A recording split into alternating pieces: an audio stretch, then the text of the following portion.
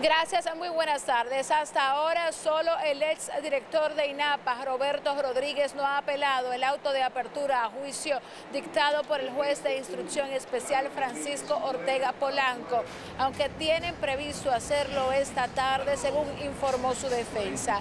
La mañana de este viernes formalizaron sus recursos de apelación la defensa del abogado Conrado Pitaluga, mientras que previamente lo habían hecho la defensa del senador Tommy Galán, del empresario Ángel Rondón, del ex ministro de Obras Públicas Víctor Díaz Rúa y también la de Andrés Bautista.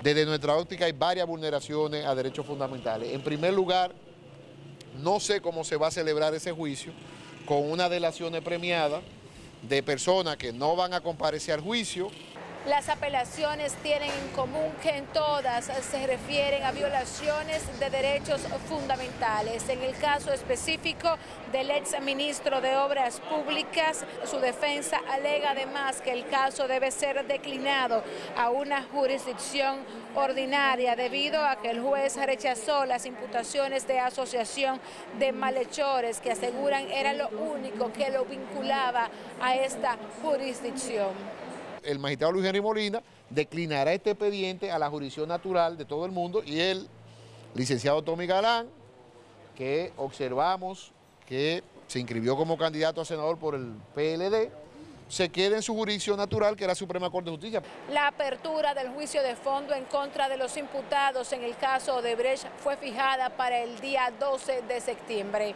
Por el momento es toda la información, retorno con ustedes.